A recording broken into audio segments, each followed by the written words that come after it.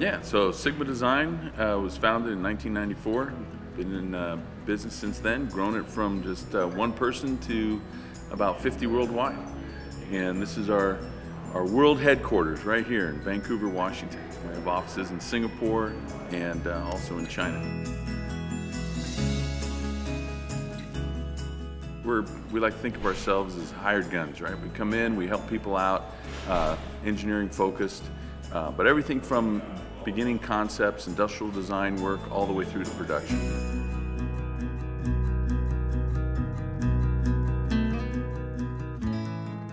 So we had three objectives when we designed this space. One is we wanted a place that clients would come in and uh, and have something to remember us by, whether it's the floor, the ceiling, anything to walk away with a memory of us. We completely gutted it, so it was just this big open space with just the, the only thing that was remaining were the trusses that you see. I tried to emphasize the, the, the, the largeness of the space the whole time. I really love how open the building is.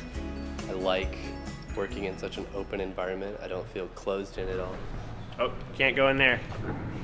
There's plenty of space to explore in the building itself, so there, everything feels like uh, different zones almost of the building.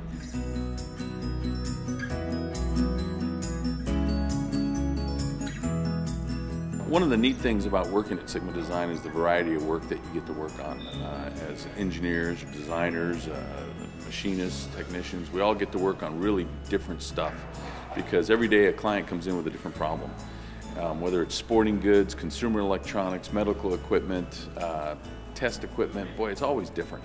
And from an engineering perspective and a designer perspective, that's a lot of fun.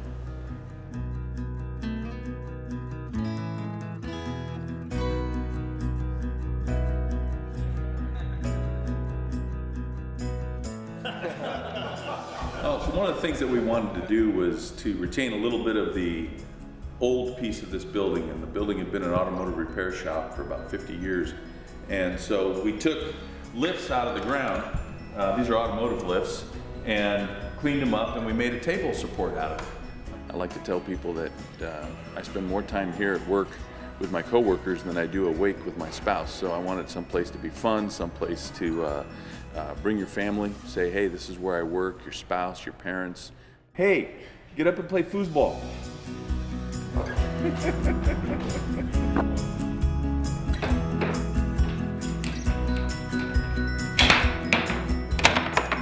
think the biggest challenge is making sure the right people are on the bus. Uh, that's about the most critical part of this business is just getting the right people together because once you get that, then uh, good things happen.